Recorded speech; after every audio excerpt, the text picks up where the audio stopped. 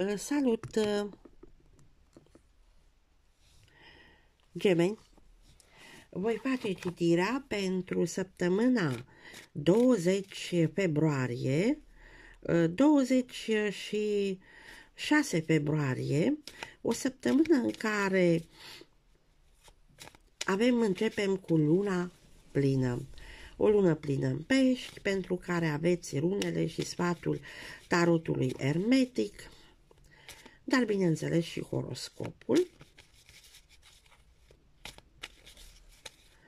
Să vedem uh, această săptămână ce șanse va aduce vouă gemenilor.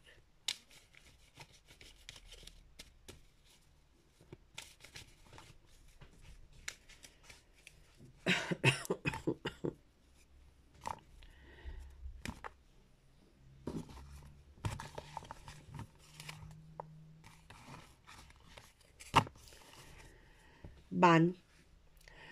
Bani care îi luați pe lângă salariu, fie că aveți o creștere mică de salariu, fie că ați mai făcut ceva pe lângă, ore suplimentare și primiți niște bani în plus și lucrul acesta vă permite să vă plătiți o călătorie, o excursie, să puneți niște bani deoparte, să echilibrați o situație de balanțe, de plăți, Vă simțiți foarte bine, jonglați foarte bine cu această sumă de bani pe care o primiți.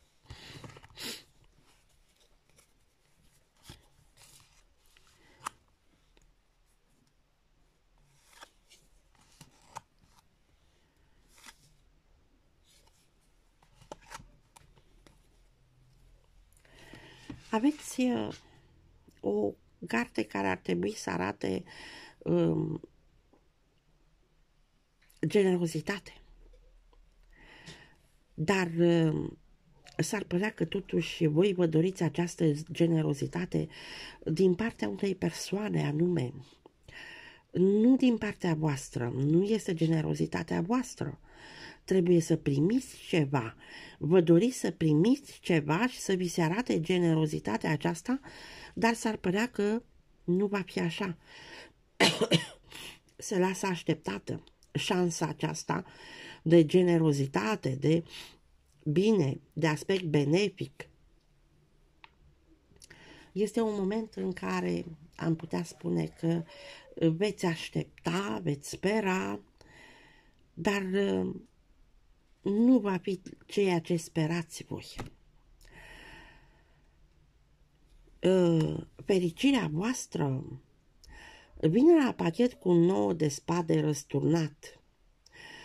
Aici să știți că aceste cărți când sunt răsturnate arată o amplificare a situației.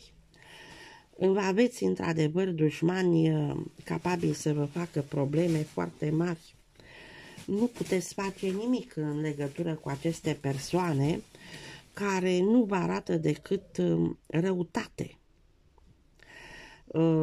capabil să vă facă orice.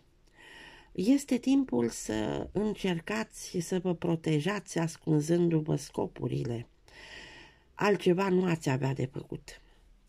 În schimb, aici în comunicare, s-ar părea că veți comunica foarte bine cu o regină de spade. Este vorba de o femeie în vârstă, cu ascendent, zodie sau lună plină în balanță. O femeie care arată sentimente, sensibilitate, ă, tact, diplomație, dar ă, și idei. Ă, poate să fie o persoană cu care puteți discuta, puteți colabora, puteți să primiți sfatul din partea acestei femei, dar niciodată să nu încercați să ajungeți la sentimentele ei să primiți și să luați atât cât vă oferă ea, regina de spade. Să mergem mai departe la bani, locul de muncă și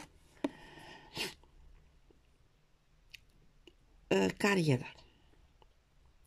Pentru bani, voi s-ar părea că veți primi niște bani dintr-o sursă misterioasă ceva care pare să fie ascuns, să nu fie uh, cunoscut de ceilalți.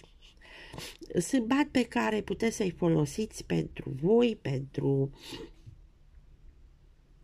bun gust, pentru lux, cursuri superioare. Sunt bani pe care îi primiți cu bucurie. În schimb, aici, la locul de muncă sau legat de sănătate, Marea Preoteasă arată Lilith, de fapt, aspecte malefice, aspecte benefice.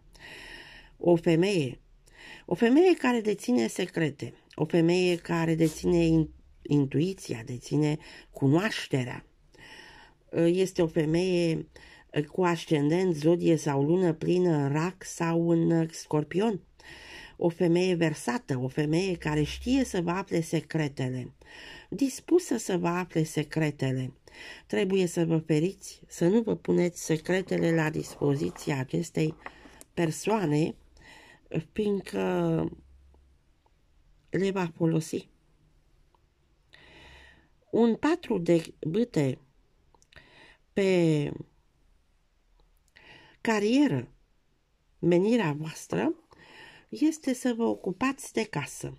Menirea voastră este să dați importanță căminului, casei, să faceți eforturi să plătiți niște datorii sau chiar să încercați să vă cumpărați o casă sau um, să o modernizați. Este un efort susținut. În ceea ce privește comunicarea, contractele, relațiile. Păi în comunicare voi aveți 8 uh, de monede. 8 de monede în această comunicare arată în primul rând faptul că cei care vă sunt uh, apropiați, frați, surori, verberișoare sau chiar vecini, vă contestă vă contestă o proprietate, vă contestă un drept, vă contestă uh, munca voastră, creația voastră. Este o contestare aici, uh, optul de monede. Trebuie să fiți foarte atenți, fiindcă aceste persoane vă contestă orice ați face, ele vă creează această contestare. În ceea ce privește și nu prea puteți face nimic, fiindcă ă, tendința de a merge în, să vi se facă dreptate presupune să cheltuiți foarte mulți bani și nu o să le scoateți din uh, cap, din atitudine, această contestare. Fiindcă ei își urmăresc un interes meschin și nu le pasă. Nu aveți ce face. În schimb, aici contracte, asocieri, Marele Preot. Marele Preot este conștiința voastră, este mentorul vostru, este cel care poate să vă ajute, să vă sfătuiască, să treceți totul prin conștiința voastră, să nu luați decizii pripite și să judecați pe ceilalți fără să vă puneți în locul lor. Acesta este marele preot. În schimb, relațiile voastre sunt cu persoane cam uh, puțin spus dubioase, persoane care vă fac înscrisuri falsificate, persoane care zic că sunt prietene cu voi, protectoarele voastre sau asociați cu voi. Aceste persoane vă mint și încearcă să vă fure, să vă falsifice ceva. Trebuie să fiți foarte atenți. În ceea ce privește căminul, familia, schimbările, transformările și karma voastră. Păi, în familie s-ar părea că veți primi o veste sau un prinț de bâte presupune un bărbat tânăr cu ascendent zodie învărsător, care vă transmite o idee, o veste, vă comunică ceva în cămin. Poate fi un frate, poate fi uh, un um, partener de viață, dacă sunteți persoane tinere.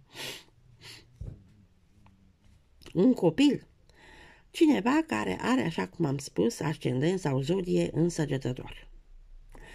În ceea ce privește uh, schimbarea voastră, este o schimbare, o transformare în faptul că nu mai depuneți efortul să fiți fericiți, uh, dar așteptați să vină fericirea.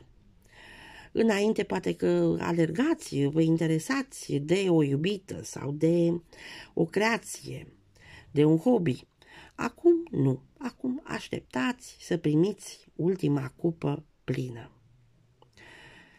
Ă, menirea voastră, am zice aici, karma voastră, este să fiți un fel de eremit.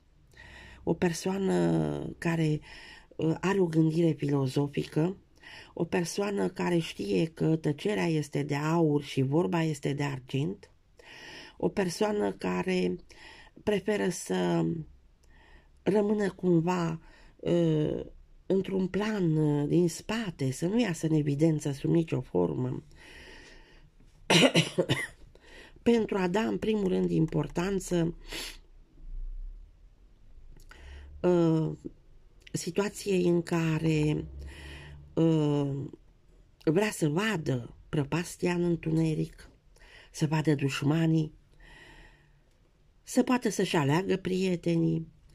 Deci acesta ar reprezenta eremitul, acel filozof. Aceasta a fost citirea pentru voi. Eu vă doresc numai bine și vă mulțumesc pentru timpul acordat.